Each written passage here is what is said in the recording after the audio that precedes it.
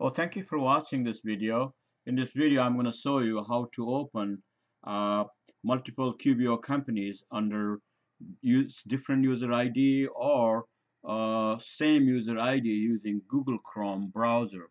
So let's get started.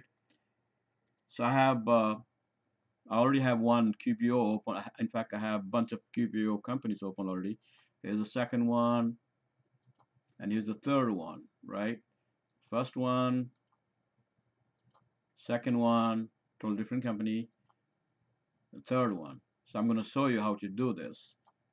All right, so you on main uh, uh, Google Chrome browser, all you have to do is uh, upper right corner, you'll see three dot, dot lines, horizontal lines in here, line in here. Just click that one under settings. It's under settings, right below edit. Just click settings. Uh, your profile setting could be slightly different, but you have to click settings and uh, under people you will need to add person in here. As you can see here I already have uh, uh, three additional uh, uh, people open in here. QBO2 QBO3 QBO4 so I'm gonna add another one and for this one I'm gonna call QBO5 you can give it you can give it any any name you want so uh, I'm just going to call this QBO5 uh, so you can you know uh, give any name you want. I'm going to select one avatar from this list and just click add. So now you know the new browser is already open right automatically. And if you go to your desktop you will see additional uh, browser in here. See right here QBO5 so I have five different browsers in here. See QBO2, QBO3, QBO4, QBO5. And if you don't like this name, you can just change it. Doesn't matter, rename it any way you want it, right? Okay, so this one is already open. So I'm going to click this. So that since this is the first time, you need to remember uh, URL address to log in uh, QuickBooks right here, QBO intuit.com qbo.intuit.com remember that one? All right so now all you have to do is type your user ID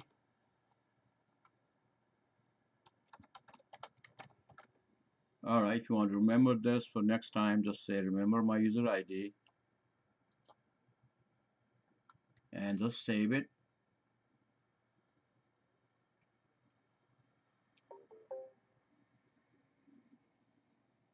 as you can see it's open now right? Okay so and if you want to bookmark this so that next time you don't have to type this qbo.intuit.com and user ID stuff just uh, go up right corner here see same place used to be a three dotted line in here and then select bookmark this page. Bookmark this page. Done. So now open see right here? So if I close this. Let's say I'm just going to close this or log out. I'm going to log out and see what happens. Okay so I'm I, I already logged out from here but when you when you open this so all you have to do is now I'm gonna then all you have to do is just click this one. See this is already saved right? And if you want if you have different user ID then you know the the one uh, uh, you originally use you can type new one and add. So you have a bunch of user ID if you want but anyway, so I'm going to use the same one.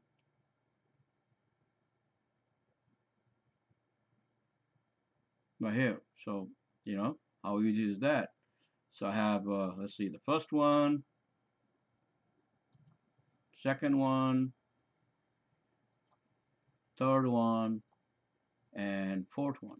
See, I open four, four, four different QBO companies using different user ID. And uh, if you're you know if you are using just uh, same user ID normally you can just switch the company in here.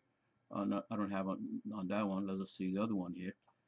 Maybe I have it on this one. Switch company right? If you have if you're using a, uh, same user ID for different companies you can switch it but still you can open just one at a time. But this way with uh, uh, having a bunch of uh, extra uh, browsers see you can open uh, different companies right? Anyway uh, thanks for uh, watching this video and you can always visit our website for helpful tips newqbo.com newqbo.com thank you again. Bye